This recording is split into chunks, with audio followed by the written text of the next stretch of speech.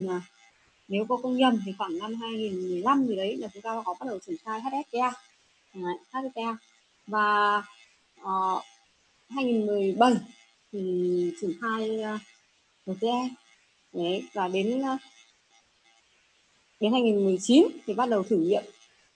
Um, 2018 2019, 2019 bắt đầu thử nghiệm 5G vâng và theo như lộ trình của bộ mà công nghệ thông tin và truyền thông đưa ra bộ, bộ bộ thông tin và truyền thông của mình đưa ra ấy, thì là đến năm 2020 này chúng ta triển khai đấy. Thế, thế nhưng mà hiện nay là cũng chưa biết là sẽ triển khai như thế nào bởi vì nó gặp phải một cái tình hình là là là là là cái cái cái, cái, cái đợt dịch như này đúng không? không biết là cái công tác triển khai nó đến đâu. Hiện nay là đã thử nghiệm ở Hà Nội và Sài Gòn rồi cái khái niệm à, thông tin di động ừ, nó là một khái niệm mà là một hình thức thông tin và dịch vụ thì cung cấp trực tiếp đến khách hàng qua đường dây kết nối vô tuyến và đảm bảo thông tin mọi lúc mọi nơi. Ừ, đây là cái yêu cầu uh, đối với mọi các loại hình hệ thống thông tin vô tuyến đúng không? Uh, là đảm bảo thông tin mọi mọi lúc. Ừ, thế nhưng mà nó lại thêm cái chữ mọi nơi nữa thì đó là cái khái niệm cao hơn cho các hệ thống thông tin vô tuyến tức là cái nhu cầu yêu cầu đòi hỏi cao hơn với các hệ thống thông tin vô tuyến đó là hệ thống di động. Thì các bạn có thể nhìn thấy một cái cái cái sơ đồ mạng tổng quan nhất Đấy, mới nhất cho các hệ thống di động hiện nay. Đấy, là các bạn sẽ nhìn thấy như nào? Ừ, chúng ta sẽ lưu ý thế này bản thân một cái mạng uh, di động nó sẽ luôn luôn bao gồm ba cái phần. Đấy, phần thứ nhất là thiết bị người dùng. Đấy. À, phần thứ hai là cái mạng truy vô tuyến và cái phần thứ ba là cái phần mạng lõi thì ở đây cô nói rằng à cái hình ảnh mà cô cho các bạn nhìn thấy ở đây ấy, nó cũng là một cái cái cái cái cái mạng di động ừ, rất là tiên tiến đúng không? À, nó là cái mạng 4G đấy thì bởi vì chúng ta sẽ nhìn thấy là gì? À toàn bộ cái mạng lõi nó là cái mạng lõi IP đấy.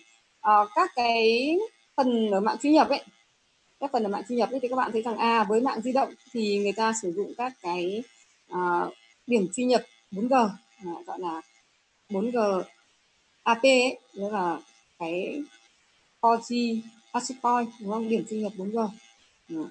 ờ, hoặc là à, với các cái cell di động mà muốn mở rộng ra ngoài trời ấy, thì người ta có thể sử dụng cái bộ định tuyến di động MR để để có thể mở rộng thêm cho cái phủ sóng uh, của cái mạng 4G à, ờ, ví dụ như là di động ngoài nhà hoặc là đối với các cái di động trên tàu chúng ta dùng thêm các exploit nối kết nối thông qua cái bộ định tuyến di động.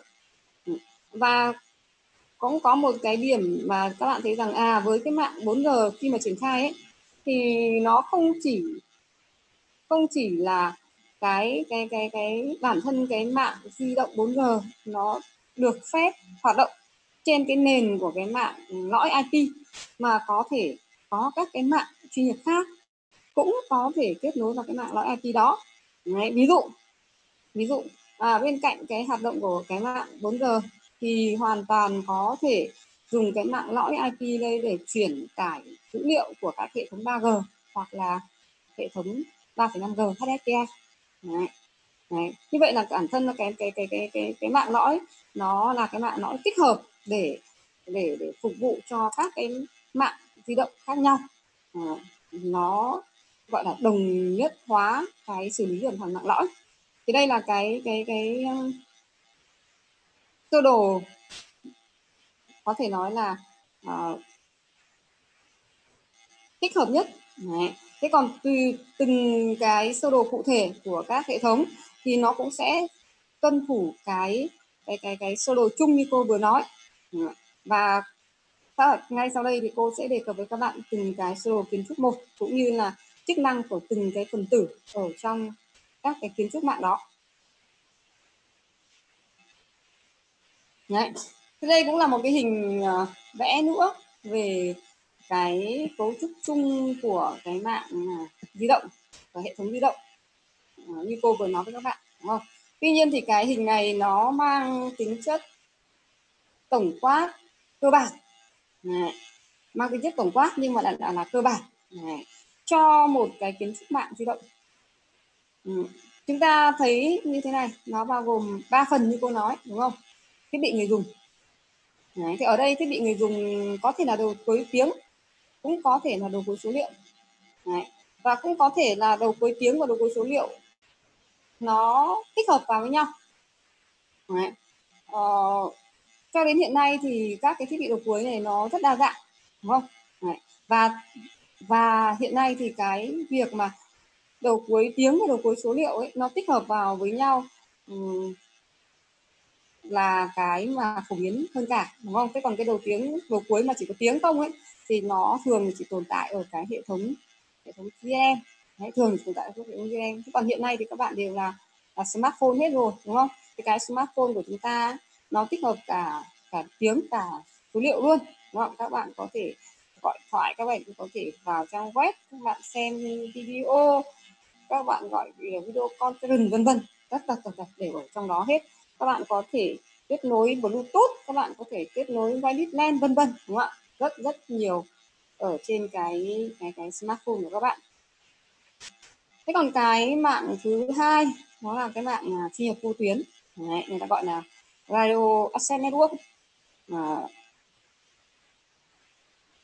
bản thân cái mạng truy nhập vô tuyến này cũng có nhiều cái cách gọi khác nhau tùy từng mạng. Và uh, các cái phần tử cấu thì tạo nên nó hay là tạo thành nó cũng sẽ khác nhau đối với uh, các cái hệ thống di động khác nhau các thế hệ di động khác nhau uh, ví dụ như ở đây thì cô đề cập cái đoạn cái mạng thì vô tuyến viết tắt là RAN đúng không? Radio Access Network. Là, là chúng ta vẫn đọc tiếng Việt là mạng trên vô tuyến tuy nhiên thì nó từng mạng thôi. Ví dụ ở đây là với cái mạng à, mạng 2G mạng ZM thì nó gọi nó cũng không gọi là RAM à, nó không gọi là RAM mà nó gọi khác đi. Đấy, hoặc là với cái mạng à, 3G nó cũng không gọi là RAM nó gọi là cái khác. Đấy. À, thế thì tùy từng mạng mà nó viết tắt khác nhau Đấy. nhưng chúng ta vẫn hiểu nó là cái mạng truyền vô tuyến và trong đó thì nó sẽ có thể có hai phần tử mà cũng có thể là có một phần tử tùy vào từng mạng Đấy, các bạn có thể nhìn thấy ở đây hai cái phần tử đại diện đúng không Đấy, thứ nhất phần tử thứ nhất là nút B hoặc là BTS Đấy. thì đây BTS nó là gọi là cái um, bộ thu phát gốc hay là trạm thu phát gốc Đấy. nút B cũng thế nút B cũng hiểu là chạm thu phát gốc nhưng nó lại gọi là nút B chứ nó không gọi là BTS Đấy. Ừ, nó không ký viết tắt không ký hiệu là BTS nữa mà nó ký hiệu là nút B à. thế còn cái phần tử thứ hai là BSC bộ điều khiển chạm gốc hoặc là RNC à, ừ, à, hệ thống con chạm gốc ừ, à, cái cái cái um, cái cái mạng à, 2G ấy, thì nó bao gồm BTS và BSC thế nhưng cái mạng 3G ấy, thì nó lại chỉ bao gồm nó lại bao gồm nút B và RNC nhưng mà lên đến LTE và LTS ban thì nó lại không còn nút B, RNC hoặc là BTS, BSC nữa mà nó lại còn chỉ có duy nhất một phần tử thôi. Đấy. À, dĩ nhiên như vậy thì cái phần tử ở trong cái mạng LTE nó phải cover đúng không? Hai cái chức năng của BTS và BSC hoặc nút B và RNC trong cái mạng thu vô tuyến của uh, mạng ZM hoặc là mạng uh, WCDMA. Đấy, thế đấy là cái phần uh, phần thứ hai của mạng của hệ thống di động. Cái phần thứ ba chúng ta thấy đó là mạng lõi mạng lõi. Thì mạng lõi nó sẽ có những cái cái cái cụm thiết bị như sau. Thứ nhất là cái thiết bị chuyển mạch. Thiết bị chuyển mạch. À, có hai cái loại thiết bị chuyển mạch thiết bị chuyển mạch nội hạt và thiết bị chuyển mạch cổng. Cái thiết bị chuyển mạch uh, nội hạt thì nó đảm bảo cái cái cái cái kết nối giữa các cái cuộc gọi nội hạt. Cuộc truyền dữ liệu nội hạt. Thế còn cái thiết bị chuyển mạch cổng thì nó sẽ đảm nhiệm cái chức vụ là duy trì cái cái cái thiết lập kết nối giữa cái cái bản thân nội mạng với cái mạng ngoài với cái mạng ngoài và ờ, ở thiết bị chuyển mạch nội hạt cũng như là thiết bị chuyển mạch cổng này này nó có thể có chức năng chuyển mạch gói và chức năng chuyển mạch kênh hoặc nó chỉ có chức năng chuyển mạch gói tùy vào từng thế hệ di động từng vào từng loại mạng di động. Đấy, ví dụ ở 2G thì nó chỉ có chức năng chuyển mạch kênh thôi. Ờ, thế nhưng mà bên hệ thống 2,5G là GPRS chẳng hạn thì nó sẽ có thêm cái chức năng nó có chức năng chuyển mạch gói. Hệ thống GPRS thì nó chỉ có chức năng chuyển mạch gói thôi. Đấy, thế nên đến 3G WCDMA thì uh, tùy tùy từng cái phát hành kiến trúc mạng ấy, nó sẽ có thể có cả chuyển mạch chức năng chuyển mạch gói và chức năng chuyển mạch kênh hoặc là nó chỉ có chức năng chuyển mạch gói. Đấy. thế thì theo các bạn cái cái cái mạng lõi mà có cả chức năng chuyển mạch gói và chức năng chuyển mạch kênh. Với cái mạng lõi mà chỉ có chức năng chuyển mạch gói thì cái mạng nào phát triển hơn tiên tiến hơn? Các bạn nào nói được không ạ? Bạn à, hỏi một bạn thử nhé bạn thanh bình nữa em thưa cô em nghĩ chuyển mạch uh, gói và chuyển mạch kênh là tiên tiến hơn. Ừ. Ờ, hỏi hỏi thử một bạn khác nhé xem có ý kiến khác không? Bạn uh, Hoàng Đức Hiếu.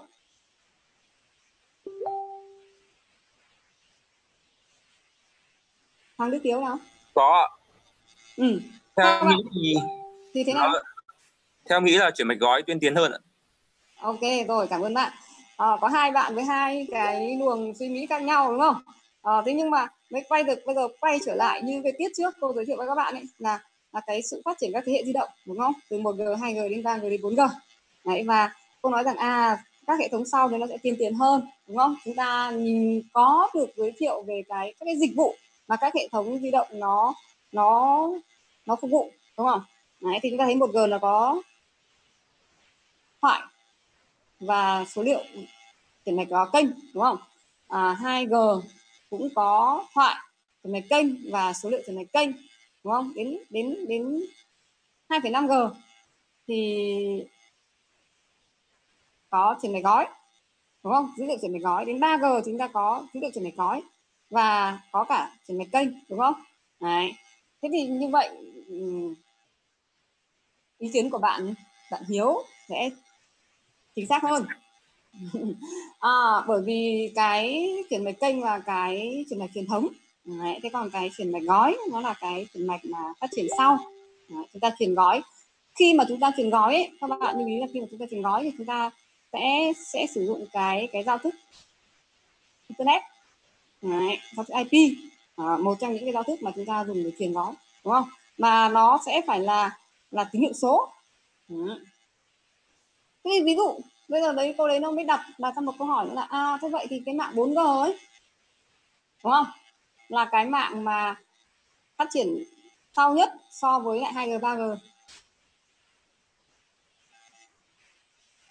và nếu nếu cô nói rằng nó chỉ có chuyển mạch gói ở trong cái mạng lõi của nó thôi, thì liệu nó có truyền được thoại không? Theo các bạn, nó có truyền được thoại không? Bạn à, Xuân Giang thử thế nào. Ờ, em ờ, em chưa chưa chưa có ý kiến. Ờ à, chưa ý kiến. À, trong câu hỏi là bạn đang nói chuyện với cô đúng không? Vâng ạ. Bạn đang nói chuyện với cô là bạn ờ, đang phát tiếng cái gì đúng không? Vâng. Bạn đang dùng máy tính hay đang dùng điện thoại? Em ờ, dùng máy tính ạ. Ok thế thì máy tính của bạn ấy nó sẽ sử dụng cái giao thức nào để nó truyền dữ liệu nào internet. À, vâng dùng dùng uh, vâng dùng internet ạ. Ừ, dùng internet tức là dùng giao thức IP đúng không? Vâng internet protocol. Thế và như vậy nó nó truyền gói gì à, vâng. Ừ. vâng. Thế thì tức là nó vẫn vẫn truyền được thoại nhỉ có truyền được thoại. Ừ thế thì theo các bạn sao nó lại truyền được thoại? Theo trên trên cái thoại là truyền mạch kênh nhá. Thoại là thoại truyền thống của mình phải nói đây này tiếng nói của mình đây này. Là nó thuộc cái loại dịch vụ chuyển mạch kênh truyền thống ấy. Thế sao lại có thể truyền qua cái mạng internet này được? Nó chắc là nó tích hợp. chắc là nó tích hợp. Rồi ok. Các bạn học rồi đấy. Các bạn học môn môn uh, gọi là môn gì nhỉ? Internet và giao thức. Internet và giao thức thì rồi. Internet và giao thức nó là cái cái môn cơ bản nhất. Cái môn mà nó liên quan đến cái cái giao thức cơ là môn um, báo hiệu và xử lý kết nối. Học rồi đúng không? Ừ. Các bạn đã nghe thấy cái giao thức ship chưa? Rồi ạ. ừ? giao thức ship là giao thức gì?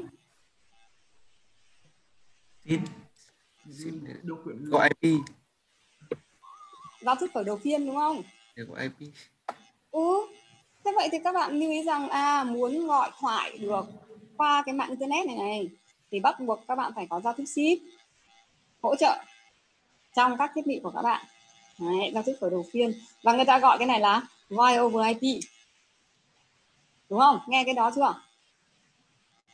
VoIP. Ừ, VoIP ấy. Chắc chắn là biết rồi đúng không? Đọc ở đâu đó rồi đúng không? Nghe qua rồi ừ nghe qua rồi. Đấy, nhưng mà chưa gắn nó được vào ở chỗ nào đúng không nhỉ? Voice video, video ip các bạn biết rồi. Là đấy là voice over internet protocol ấy. Ừ. đúng không? Truyền thoại qua mạng internet hay là qua cái đường truyền internet. Thì, thì mặc dù là là cái cái cái mạng lõi của chúng ta hoàn toàn là mạng lõi IP nhưng mà chúng ta vẫn có thể xử lý thoại được tức là vẫn truyền thoại được dựa trên cái gì là cái cái xử lý bằng các cái giao thức hỗ trợ. Ví dụ một trong những thức đó là giao thức khởi đầu phiên ship. À, chứ còn nếu mà mạng lõi và là mạng chuyển mạch gói mà lại không truyền thoại được thì thì thì thì người ta lại thấy đó là một thiếu sót đúng không? À, ok. À, cái phần cụ phần tử thiết bị thứ hai ở trong mạng lõi đó là cái um, cụm thiết bị về thông tin vị trí của của mạng.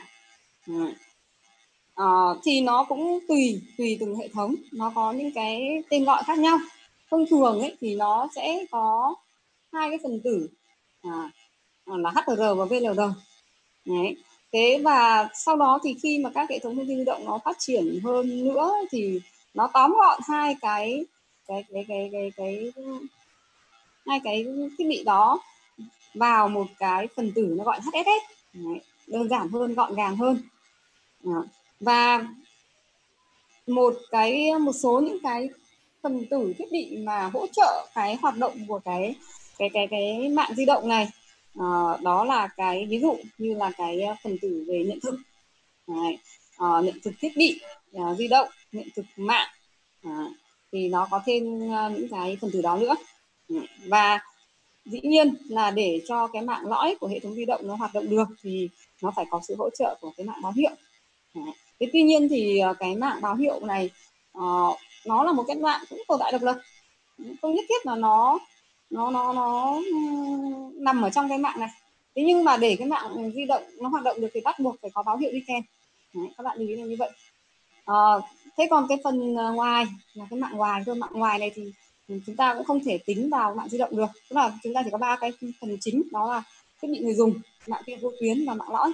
Thế và để chúng ta có thể uh, kết nối được đến các cái mạng khác hoặc là thiết bị uh, cái mạng di động khác hoặc là cái mạng không phải là di động um, khác thì chúng ta bắt buộc phải đi qua thiết bị cổng. Đấy, các mạng ngoài thì chúng ta ví dụ như internet ví dụ internet hoặc là mạng uh, điện thoại cố định vân vân cái đấy là số phúc chung. Và tất cả các cái mạng ừ, di động ừ, từ 1G đến 2G đến 3G cho đến ờ, 4 5G hiện nay ấy, nó đều tuân theo cái cấu trúc chung này. Đấy là cái mà cô giới thiệu với các bạn. À, tiếp theo ta sẽ tìm hiểu cái kiến trúc mạng trên em. Thì đây là cái hình ảnh về kiến trúc mạng trên em mạng trên em là cái mạng di động thế hệ thứ hai. Đúng không ạ? Nó được triển khai ở trên uh, thế giới vào những năm 1991 Đấy, và triển khai ở Việt Nam vào năm 1993 Đấy. thì uh, theo đúng như cái cấu trúc cô vừa mới trình bày với các bạn thì các bạn sẽ nhìn thấy ở đây nó có cũng có ba phần đúng không? Và tên gọi của nó thì hơi khác so với lại uh, cái tên gọi mà cô vừa mới đề cập. Ở cái slide phía trước đúng không ạ? Đấy, thế là chúng ta có thiết bị người dùng. Cái thiết bị người dùng ở đây ờ, đơn giản nó gọi là MS Mobile Station. Đúng thôi. Đấy. tiếp theo cái mạng truy nhập vô tuyến nó gọi là BSS hệ thống con chạm gốc. Đấy. hệ thống con chạm gốc. Đấy. chứ không phải là mạng uh, nhập vô tuyến. Nó không gọi là mạng phi nhập vô tuyến các bạn ạ. Nó không gọi là RAM mà nó gọi là dns hệ thống con chạm gốc. Ừ. Và cái mạng nõi nó gọi là NSS Đấy. Thì và chúng ta sẽ thấy ở trên này là tất cả các thiết bị uh, đảm bảo cái hoạt động của cái mạng GSM cũng như là các cái giao diện giữa các cái phần tử mạng. Đấy, cũng giao diện các phần tử mạng. Cái hệ thống con chạm gốc của chúng ta gồm có hai phần tử đó là BTS à, ờ, chạm thu phát gốc. Đấy. À, và BSC bộ điều khiển chạm gốc. BSC là bộ điều khiển chạm gốc. Uhm, trong mạng lõi à, hay là chúng ta gọi là trong NSS thì chúng ta có hai cái thiết bị chuyển mạch. À, thứ nhất là MSC và thứ hai là GMSC MSC được gọi là trung tâm chuyển mạch các dịch vụ di động. Đấy. trung tâm chuyển mạch các dịch vụ di động gọi tắt là MSC và à, chúng ta hiểu đó là thiết bị chuyển mạch nội hàm. Thế còn à, cái GMSC nó là GMSC cổng tức là trung tâm chuyển mạch các dịch vụ di động cổng thì đây nó là thiết bị chuyển mạch cổng dùng để uh, kết nối cái cuộc gọi của chúng ta ra mạng ngoài. Ừ. Và với cái hệ thống DSM thì cái mạng ngoài của chúng ta là cái mạng PSTN tức là cái mạng uh, điện thoại truyền thống. Đấy. mạng điện thoại truyền thống. Ừ. ngoài hai cái phần tử chuyển mạch đúng không? Hai cái phần tử chuyển mạch là MSC và GMSC các bạn sẽ thấy ở trong mạng lõi nó còn có ba phần tử nữa. Thực tế là bốn thế nhưng mà ở trên cái hình này nó thể hiện là nó không thể hiện hết mà nó chỉ hiện ba phần tử thôi. Đó là VLR Đấy, VLR nó gọi là thanh ghi định vị tạm trú hay là bộ ghi định vị tạm trú cũng được. Đấy. thanh ghi định vị tạm trú hay bộ ghi định vị tạm trú. Và HLR HLR là uh, thanh ghi định vị thường trú hay là bộ ghi định vị thường trú. Thế còn ờ, uh, AUC được gọi là trung tâm nhận thực. AUC được gọi là trung tâm nhận thực. Ngoài ra thì trong cái mạng lõi này còn một cái phần tử nữa mà người ta không thể hiện ở đây. À, các bạn ý người ta không thể hiện ở đây đó là cái phần tử nữa là EIR Đấy, cô có một hình khác thì nó thể hiện rõ hơn cái cái cái cái cái phần tử đó. Này cái một cái sơ đồ nữa. Sơ đồ thứ hai. Đấy các bạn sau này các bạn à, khi các bạn à, vẽ kiến trúc mạng các bạn vẽ hình nào cũng được. Ừ. Không nhất thiết là phải một hình. Thế nhưng mà ví dụ cái hình này thì nó thể hiện rõ là trong cái hệ thống con chuyển mạch ấy, NSS ấy, nó còn có cái phần tử EIR EIR ở đây là cái uh, thanh ghi nhận dạng thiết bị. Đấy, thanh ghi nhận dạng thiết bị. Thế cái hai cái hình này mỗi hình nó đều có một cái um, ưu điểm riêng đúng không? Đấy. cô ví dụ cô ví dụ cô nói ở cái hình này. Thì cái hình này nó thể hiện cho các bạn cái gì? À nó thể hiện cho các bạn là à cái hệ thống con chạm gốc này này. Nó có nhiều hệ thống con chạm gốc chứ không phải là một hệ thống con chạm gốc. Đấy. tức là mỗi một BSS ấy, thì nó sẽ bao gồm một BSC kết nối với nhiều BTS Đấy. thường là kết nối với hai BTS ít nhất là hai BTS tôi có nói ít nhất thôi thế ừ, còn trên thực tế thì nó kết sẽ kết nối với nhiều rất nhiều BTS có thể vài chục có thể vài trăm BTS Đấy. À, có thể nó lên đến nếu cô không nhầm nó lên đến 512 BTS Đấy. có thể nhá Đấy. À, từ vài chục đến vài trăm Đấy.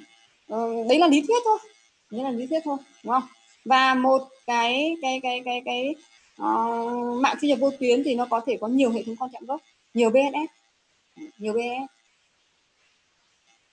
à, ờ, thế còn hệ thống con chuyển mạch thì chỉ có duy nhất một đúng không ạ? Ừ. à, thực ra thì gọi là duy nhất một thì cũng không hẳn. Nó cũng có thể có ừ, nhiều cái MSC đặt ở nhiều cái vùng địa lý khác nhau. Đấy. GMSC thì thường là có một còn MSC thì cũng có nhiều. Đấy, có nhiều nhiều nhiều nhiều hệ thống con chuyển mạch chứ không phải chỉ có một. Đấy. và nó rõ cho các bạn là trong cái cái mạng à, lõi đúng không? Hệ thống con chuyển mạch nó còn có phần phần phần phần tử EIR gọi là thanh vi nhận dạng thiết bị. Đấy. và ở phần chạm di động tức là hệ cái người dùng ấy thì nó sẽ thể hiện cho bạn rõ là à cái chạm di động đấy nó cấu trúc như thế nào đúng không? Chạm di động nó sẽ có hai phần cơ bản. Nhất là cái phần thiết bị đầu cuối ME mobile equipment đấy là cái cái cái cái cái cái máy điện thoại mà các bạn đi mua đi mua về. Và cái thứ hai là cái sim. Đấy. Thì thì cái sim này bạn sẽ phải mua của nhà cung cấp dịch vụ. À, tức là bạn uh, dùng mạng của nhà cung cấp dịch vụ nào bạn phải mua sim của cái nhà cung cấp dịch vụ đó. Thế còn cái máy điện thoại thì bạn mua đâu cũng được. Mua bất cứ một cái nhà cung cấp dịch vụ nào cũng được một cái nhà cung cấp thiết bị nào cũng được. Đấy. À, miễn là nó thuộc cái thế hệ thứ hai. Mà sử dụng đa thì phân chia theo thời gian đúng không? Thế còn mua cái của CDMA là không dùng được rồi đúng không nào? Thế nhưng mà cái hình này thì thì nó có cái cái gì lợi hơn cái hình sau đúng không ạ? Nhất là nhìn nó đẹp hơn đúng không? Các bạn nhìn thấy nó đẹp hơn không? Đúng không? Nó vẽ 3D rồi hình màu mè nó đẹp hơn. Đấy hình ở kia là chúng ta vẽ vẽ vẽ vẽ thường và cái hình này ừ, thực ra cái đẹp hơn cái nhìn màu sắc thì nó cũng chỉ là cái cái cái đập vào mắt chúng ta thôi đúng không thế nhưng mà cái quan trọng hơn Đấy. các bạn sẽ nhìn thấy là à ví dụ các bạn nhìn thấy đường truyền nối giữa BSC và MSC đúng không cái đường uh, truyền giữa MSC với GMSC Đấy nó có hai cái đường, một đường đậm, một đường nhạt thế còn cái đường kết nối giữa MSC với vlr rồi với hlr hoặc là với AOC chẳng hạn, hoặc là từ hlr đến GMSC chẳng hạn, thì nó chỉ có một cái đường mảnh mảnh thôi, đúng không Đấy. thì với cái hình này nó lại thể hiện rõ cho các bạn cái cái cái cái loại tín hiệu mà được truyền giữa các phần tử Đấy.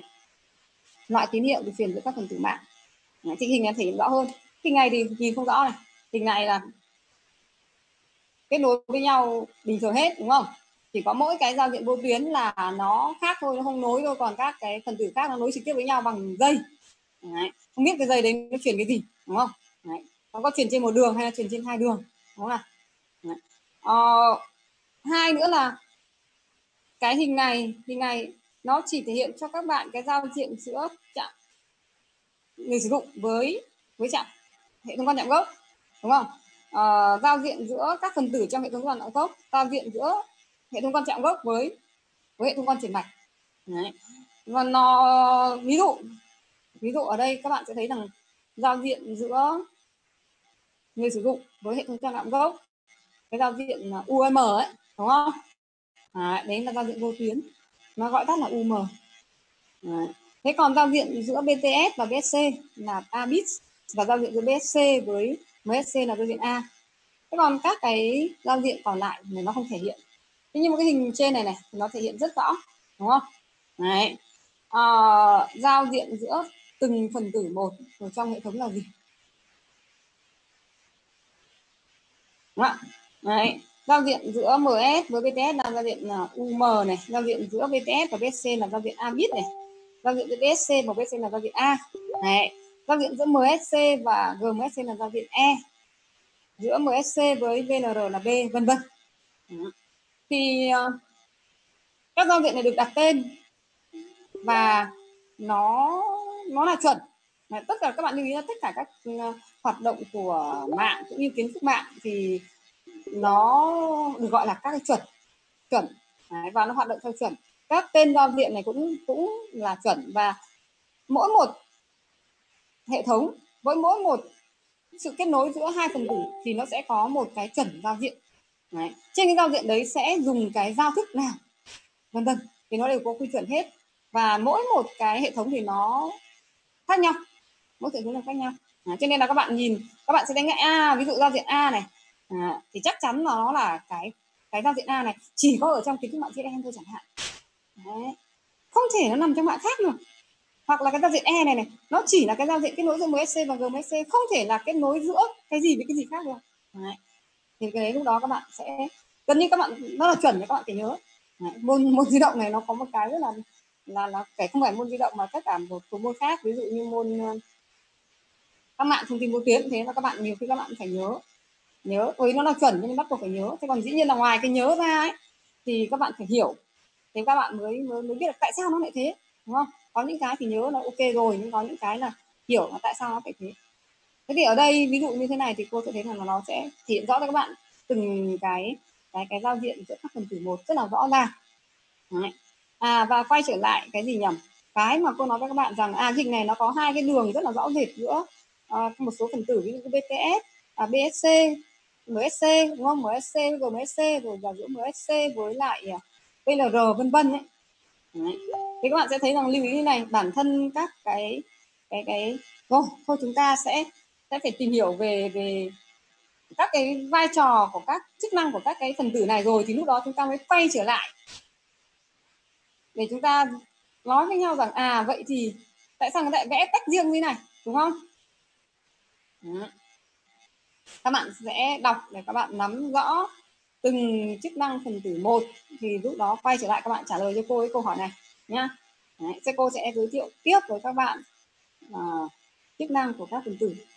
Cái này à, thực tế ra các bạn đọc tự đọc được. Đấy. nó chỉ là quy định thôi không có gì phải giải thích rõ ràng lắm. À, không có gì khó hiểu lắm chính xác hơn ừ.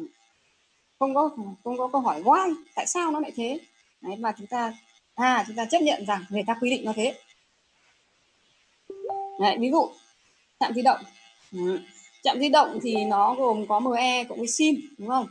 Đấy. nó có chức năng gì? Có ba cái chức năng giao diện với mạng này giao diện với người dùng này giao diện với các cái thứ khác này. Đấy, thì để giao diện với mạng thì nó nó làm cái nhiệm vụ gì? Là nó thu phát xử lý tín hiệu đúng không?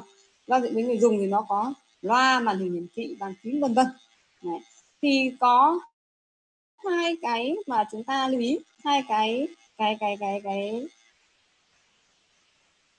Một cái nó đặc trưng cho ME và một cái nó đặc trưng cho SIM. À, cái tham số thứ nhất là cái um, email. IMEI nhá.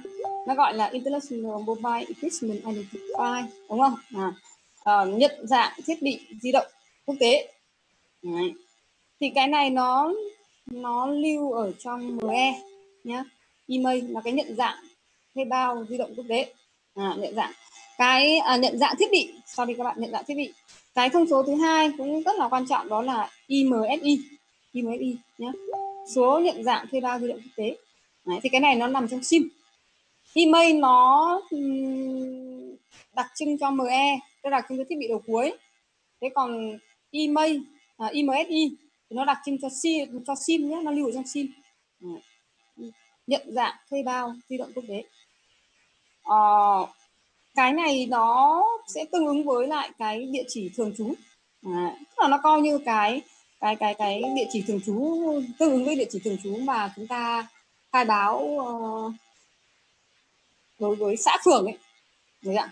À, tức là bản thân mỗi một cái cái cái cái cái cái sim ấy nó sẽ có một cái số nhận dạng thuê bao và và anh được ừ, cung cấp cái cái sim đó tức là anh có cái nhận dạng thuê bao đó. Cái đó không thay đổi nhé cái đó luôn luôn không thay đổi cái đó luôn luôn không thay đổi. Tương tự như thế với cái email cũng vậy. Khi mà uh, nhà cung cấp thiết bị người ta sản xuất ra thiết bị đó thì người ta đánh một cái số nhận dạng thiết bị và cái số nhận dạng thiết bị đó nó cũng không thay đổi. Thì các bạn lưu ý thì sim nó lưu những cái gì nhá? Sim nó lưu cái thứ nhất là cái email rồi à, IMSI rồi. Thế nhưng mà ngoài ra sim nó lưu ý lưu cái gì nữa? Thì các bạn sẽ thấy như này sim nó lưu cái thứ nhất là IMSI rồi. Đấy. cái đấy là cái thông số không thay đổi này. Cái thứ hai mà sim nó lưu đó là TMSI số nhận dạng thuê bao di động tạm thời. Đấy. cái số nhận dạng thuê bao di động tạm thời ấy, nó tương ứng với lại cái uh, hộ khẩu tạm trú của chúng ta ấy. Đấy. các bạn à, hình dung ra như vậy cái IMSI nó là cái hộ khẩu thường trú thế còn cái TMSI nó là cái cái cái hộ khẩu tạm trú à, nó là số nhận dạng thuê bao di động tạm, tạm, tạm thời thì cái TMSI này nó thay đổi khi mà máy di động nó cái thiết bị di động nó di chuyển khi người sử dụng di chuyển các bạn lưu ý nhé không phải lúc nào nó di chuyển nó cũng thay đổi TMSI đâu Đấy nó sẽ có những quy định và chúng ta sẽ tìm hiểu nó ở phía sau. Ừ, chứ không phải là lúc nào nó cũng thay đổi đâu nhé TMSI nó cũng có thể giữ nguyên trong một cái phạm vi nào đó. Ừ, IMSI thì nó luôn luôn giữ nguyên không thay đổi. À, cái thông số thứ ba mà lưu trong sim đó là LAI à, ừ, ờ, nhận dạng vùng định vị. Nhận dạng vùng định vị. Cái LAI được lưu trong sim LAI nó cũng có thể thay đổi nhé LAI cũng có thể thay đổi. Đấy, tùy thuộc vào cái sự di chuyển của người sử dụng. À, cái tiếp theo là cái um, khóa bảo mật thuê bao KI thì cái khóa này không thay đổi. Đấy, khóa này nó lưu trong sim mà nó không thay đổi. Nó chỉ lưu à nó lưu trong sim ở thiết bị di động. Ngoài ra nó còn lưu ở chỗ khác nữa. Đấy. Oh, ok hôm nay chúng ta nghỉ đã. Ừ, nghỉ ở đây đã. Các bạn còn một kíp nữa đúng không? Vâng ạ. ok rồi chào các bạn Hẹn em cô tiếp sau học đến mấy giờ ạ kiếp sau chúng ta học theo số biểu từ 7 rưỡi vâng ạ ok ừ. À. Ồ, sao bây giờ lông thế 87 lại Các bạn cô ạ. tiếp theo ạ. à kiếp sau đã vào rồi hả ok